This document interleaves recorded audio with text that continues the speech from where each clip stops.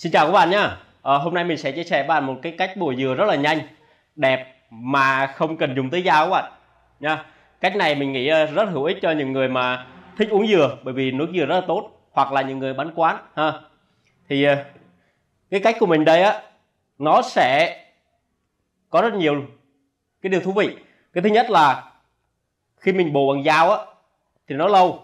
Thứ hai là cái cái cái dừa này này nó rơi xuống, nó dơ, mất công vệ sinh. Còn cách thứ hai của mình chia sẻ thì rất tuyệt vời. Ok, thì mình sẽ, trước tiên mình sẽ bổ bằng dao. Để bạn xem nó sẽ dơ thế nào nhé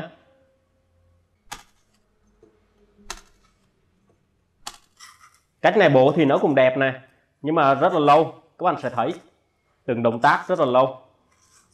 Cũng mệt. Trái dừa này hơi già.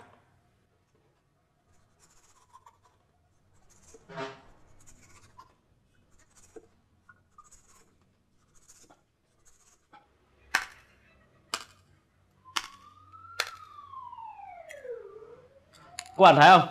Bộ trái dừa kiểu này. Rất là lâu, mệt nữa nha. Và đồng thời nè, những cái vỏ dừa nó rớt xuống đây. Rất là dơ. Ha. Rồi. Như vậy mình sẽ không bổ bằng dao này nhá mà nó vẫn mang tính ờ, thẩm mỹ rất là cao. Nó đây các bạn một cái ống inox và các bạn sẽ cắt cái đầu nó nhọn thế này. Đây sau đó mình sẽ mài sắc cái cái cảnh nha mình mài luôn nè cho nó sắc các cảnh luôn. Bây giờ mình sẽ bổ uh, lấy nước cho bạn xem nha. Thì uh, trước tiên các bạn sẽ đuổi một trái uh, dừa. Cho nó một nằm ở một cái cảnh nào đó mà nó đứng yên đẹp nhất. Ví dụ cảnh này đứng đây là đẹp nhất ha.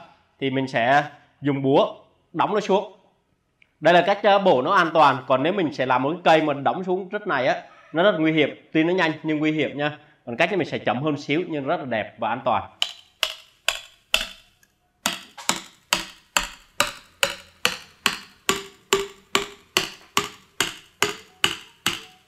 Ok, nước nó xịt lên là được. Rồi, lấy nó ra.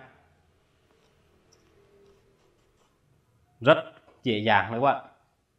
Thấy chưa? Đẹp không? Đấy như các bạn thấy thì uh, bên nào đẹp hơn? Không? Cái này vừa lâu vừa vất vả vừa dơ mới công giọt còn này gọn gàng đẹp đẽ. Và nó kín luôn ha. Khách nếu mà chỉ cần uống thì gần rút này ra và uống bình thường. Rất là ngon. Hy vọng video này sẽ hứa cho các bạn nhé. Mong các bạn chia sẻ để mọi người cùng biết. Chào các bạn nhé.